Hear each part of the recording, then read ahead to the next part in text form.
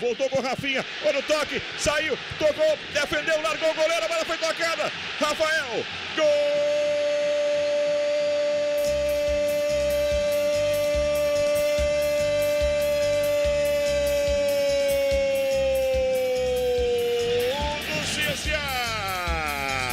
Rafael Oliveira.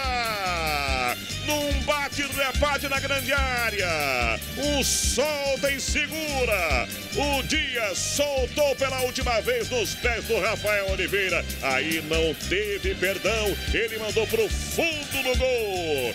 1 a 0 CSA. Tentando aí a jogada, Luiz Soares fintou o zagueiro. Agora sim tá livre, livre é só escolher o canto. Olha o Soares bateu. Gol!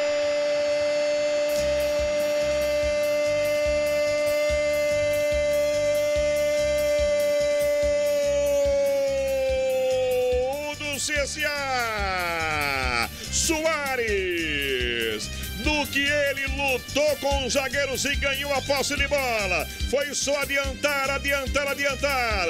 E definir o canto na hora de finalizar.